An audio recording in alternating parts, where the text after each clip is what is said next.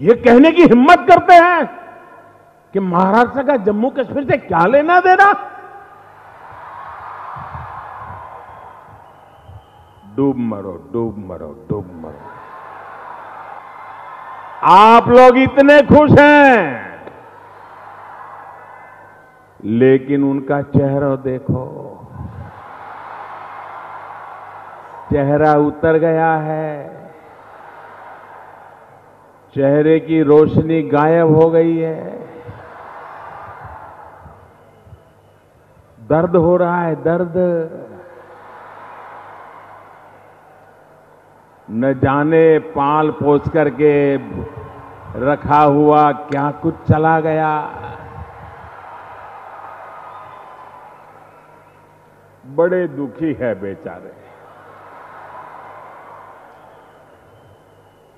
संभाल संभाल करके रखी हुई 370 देशवासियों के चरणों में न्योछावर हो गई है।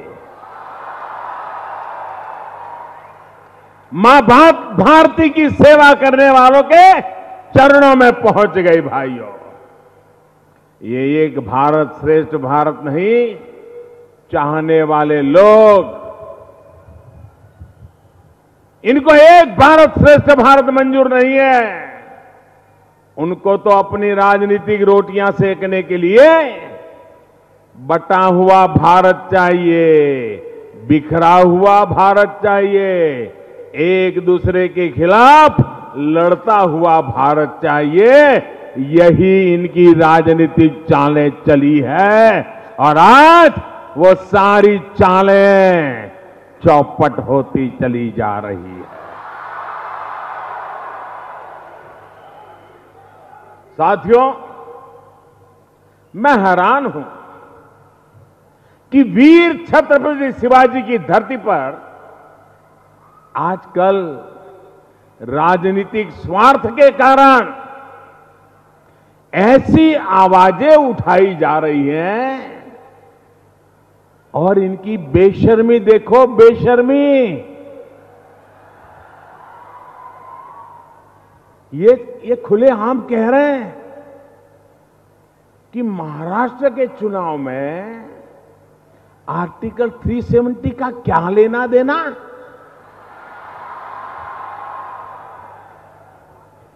जम्मू कश्मीर का महाराष्ट्र से क्या लेना देना?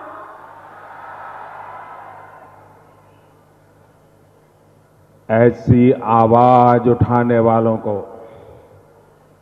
मैं कहना चाहता हूँ, कान खोल करके सुन लो।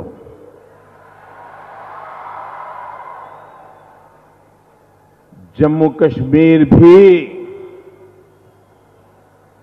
और वहाँ के लोग भी माँ भारती के संताने ही रहते।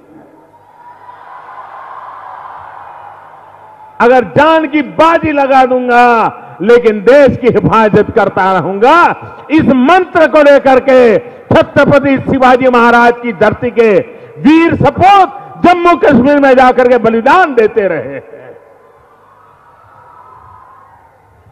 हमें गर्व है महाराष्ट्र के उन सपूतों पर जिन्होंने जम्मू कश्मीर के लिए अपना सर्वोच्च न्योछावर कर दिया। और आज राजनीति के स्वार्थ में डूबे हुए ये लोग, अपने परिवार के कल्याण में खोए हुए लोग, ये कहने की हिम्मत करते हैं कि महाराष्ट्र का जम्मू कश्मीर से क्या लेना देना? डूब मरो डूब मरो डूब मरो। दर्द होता है दिल में। इन्हें शर्म आनी चाहिए। उन्हें शर्म आनी चाहिए अपनी सोच पर। उन्हें शर्म आनी चाहिए अपने बयानों पर। याद रखिए, आपके बयानों को, आपकी प्रतिक्रिया को सिर्फ़ महाराष्ट्र ही नहीं, पूरा देश सुन रहा है और देश पाई पाई का चुन चुन के हिसाब मांग के रहेगा मान के चलो।